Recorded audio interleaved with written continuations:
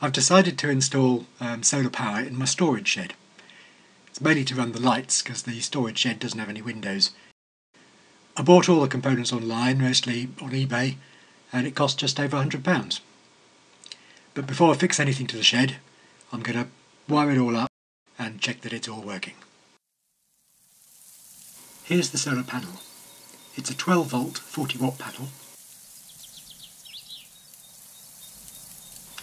It's mounted on an aluminium frame and the frame comes with fixing holes. Its maximum output is 3 amps, but it would need a really sunny day to reach that. It's got just two cables, labelled positive and negative, so it's all very simple. Now today's a typically cold and cloudy British autumn day, but I'll turn the panel over, connect it to my multimeter and see how much electricity it's generating.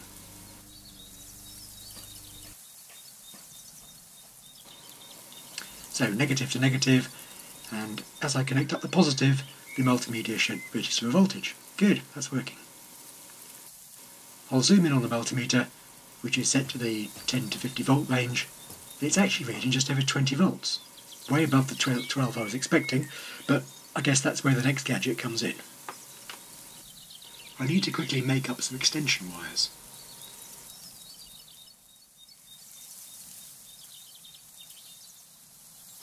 These will be properly connected in the final installation, but for now I'll just twist a couple of wires together and wedge them into the connectors. So I don't get confused, I'm using red wire for the positive and black for the negative. I'll leave that red wire hanging off the edge of the bench so it doesn't touch the black one and short out. To stop the wires falling out, I'll tape the connectors with some insulating tape.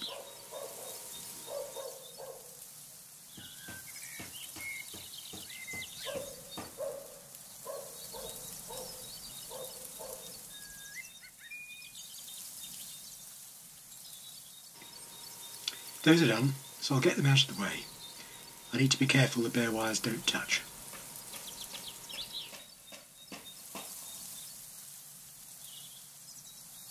Right, now I'm ready for the next component.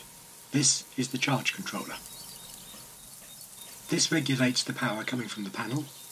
It stops the battery from being overcharged and also stops it from running completely flat. The black sensor on top is a temperature sensor and it'll shut off the system if things get too hot. It's kind of the brains of the outfit. I'll zoom in and show how it connects up. There are three pairs of connectors, a positive and a negative for each. A pair for connecting the solar panel, a pair for connecting the battery,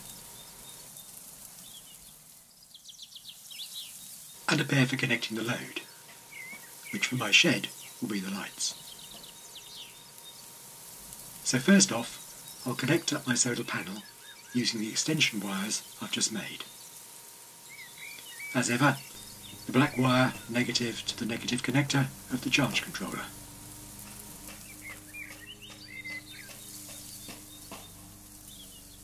And the red wire to the positive.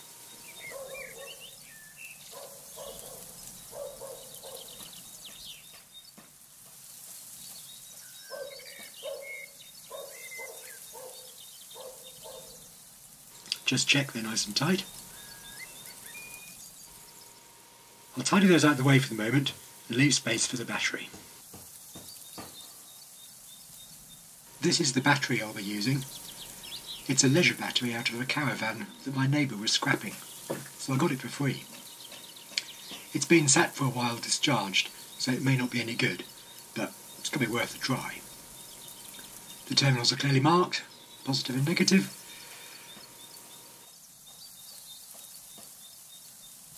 I'll use these red and black wires to connect it up. I find these small Jubilee clips are the right size for these round battery terminals. Just slacken them off a bit. Tuck the bare end of the wire inside.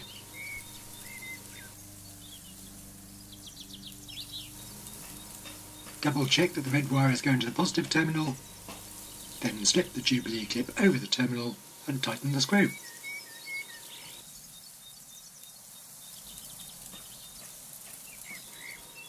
Then the same for the black wire on the negative terminal.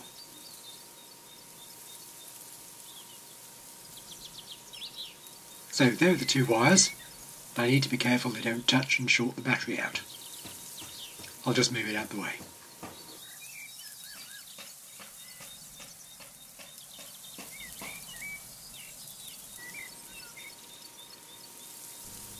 Now get the charge controller again so I can connect up the battery.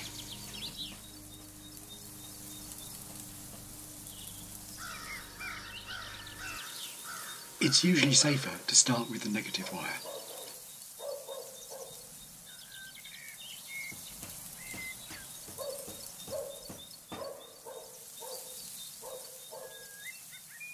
Just slide in the black wire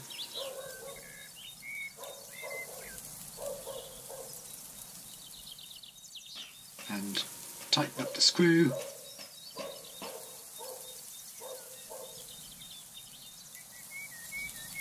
That's good and tight. And then the same for the positive wire.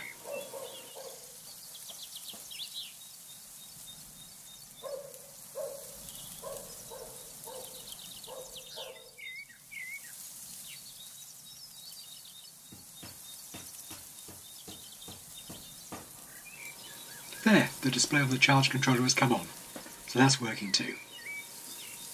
I'll just zoom in on the display to show what's going on.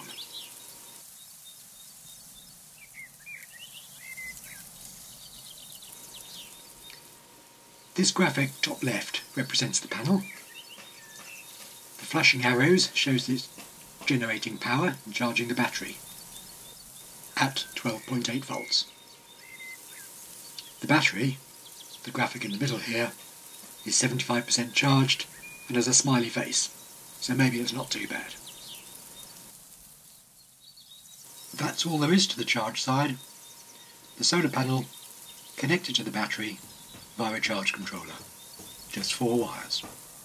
For my shed lights, I'm using these cheapo car reversing lights. You can get these at most car parts places, or of course online.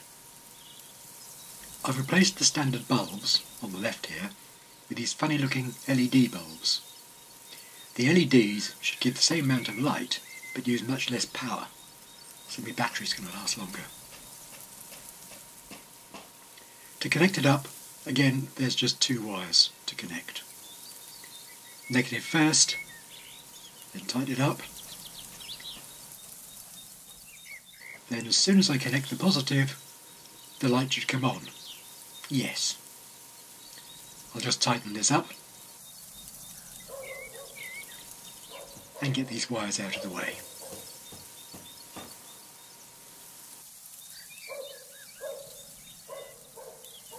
So that's the setup all working.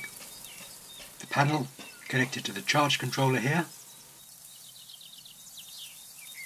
The battery, positive and negative, also connected to the charge controller.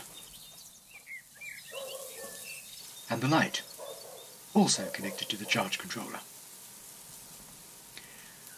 The charge controller sits in the middle, managing the power and keeping everything safe. I got all this for just over £100.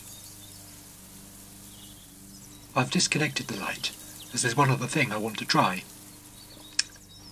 I don't really need this for the storage shed, but I expect it'll come in handy. It's a power inverter, which will allow me to run ordinary power tools from the battery. It converts the 12 volt DC battery power to 24 volt AC power that you get from a normal wall socket in the house. It's got a socket for a UK 3-pin plug on one end and also an on-off switch.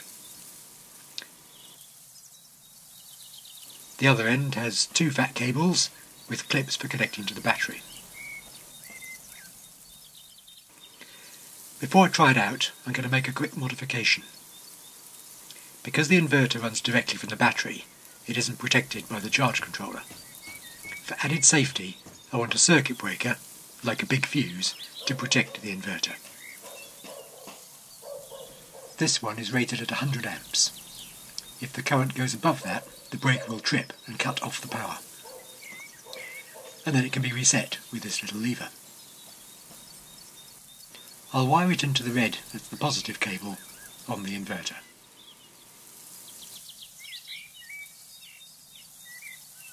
I'll take the cable off to make it easier. They just unscrew from the inverter. And put that aside.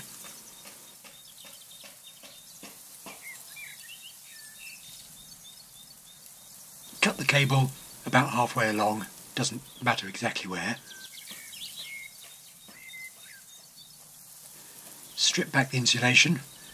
This knife isn't really the best tool, I must get myself some proper wire strippers. Anyway, that's one done. Then again, same the other side.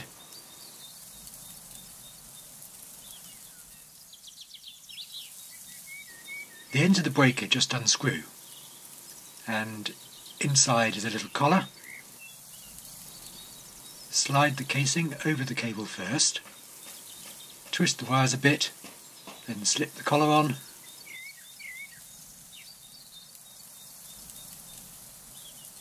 Insert the wire into the breaker and tighten up the screw.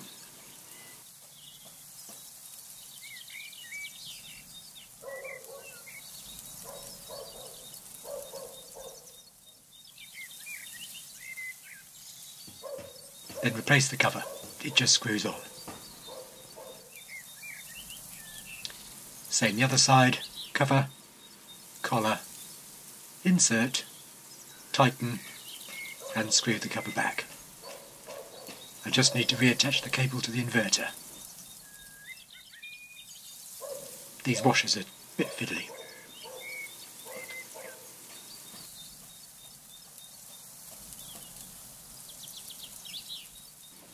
Okay, that's back together. And the breaker is installed.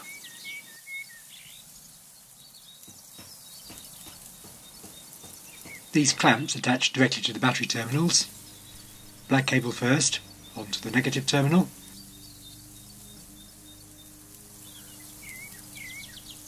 Need to make a good connection. Then the red one.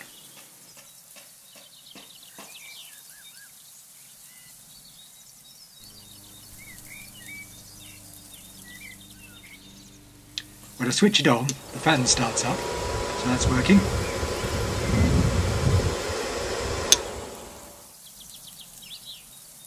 I'll test it with this drill. I've put a hole saw bit in the end just to make it easier to see it working on the video. It just plugs in like an ordinary wall socket. Switch on the inverter, and there goes the fan. It is very noisy, and the drill works as if it's plugged into the mains.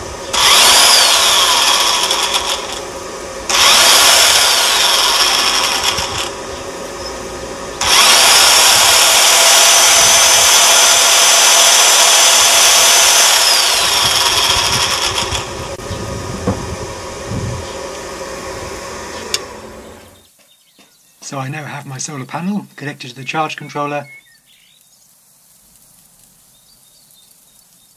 and it's charging the battery. Then connected to the battery is the inverter with a circuit breaker in there for added protection. The inverter and the breaker together cost about £36.